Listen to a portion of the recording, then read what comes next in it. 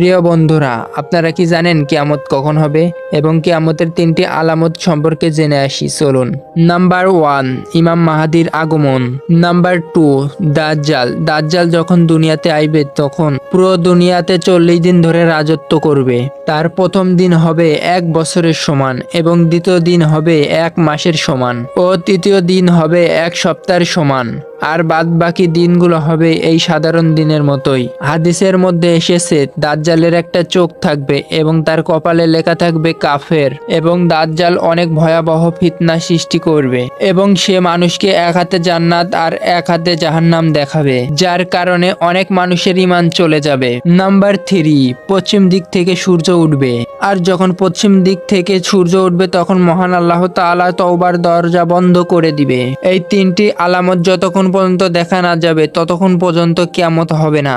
আর আপনাদের কাছে একটাই চাওয়া আপনি যদি আমাদের চ্যানেলে নতুন হয়ে থাকেন, তাহলে পরবর্তী ভিডিও পেতে চ্যানেলটি সাবস্ক্রাইব করে রাখুন।